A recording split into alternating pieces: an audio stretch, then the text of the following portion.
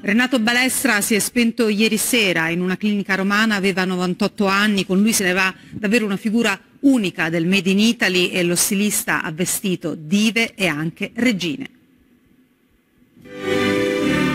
Addio a una delle personalità più brillanti dell'alta moda romana. Lo stilista Renato Balestra si è spento ieri a 98 anni.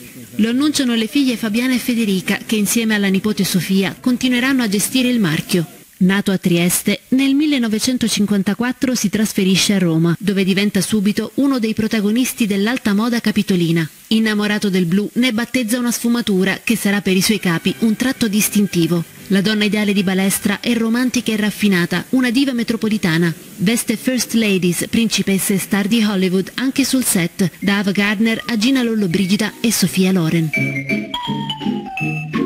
Uomo schivo e gentile, ma soprattutto imprenditore lungimirante, Balestra è tra i primi a portare il Made in Italy in Oriente e a scommettere sulla grande distribuzione all'estero. Per tutta la vita coltiva la passione per il teatro e l'opera, collabora con Zeffirelli e Pavarotti che indossa in scena alcuni suoi costumi. Una sensibilità artistica che Balestra ha saputo portare anche in passerella, fondendo couture e spettacolo.